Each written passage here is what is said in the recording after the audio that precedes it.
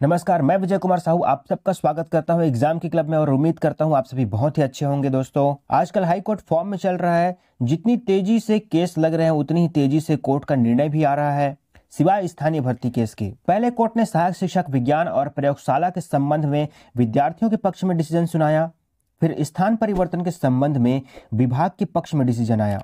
और उसमें कहा गया कि स्थान परिवर्तन का अधिकार विभाग के पास सुरक्षित रहेंगे। उसके बाद आज फिर से व्यायाम शिक्षकों के पक्ष में डिसीज़न आया। यह डिसीज़न सेम सहायक शिक्षक के डिसीज़न जैसा ही है। इस केस के वकील फैजल अख्तर जी ने बताया कि कोर्ट के द्वारा कहा गया है कि 60 दिनों के अंदर याचिकाकर्ताओं को फॉर्मल पोस्टिंग देना है। दो साल से शिक्षक अभ्यर्थी नियुक्ति की राह देख रहे हैं।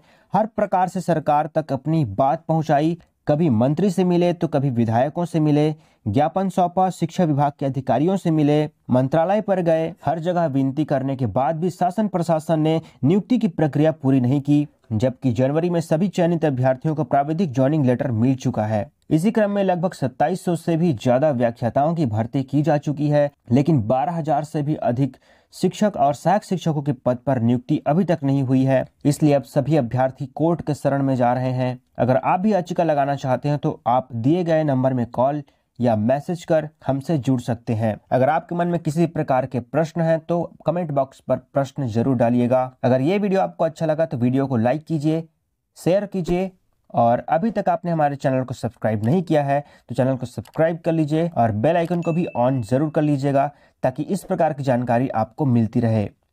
तब तक के लिए मुझे दीजिए विदा। नमस्कार।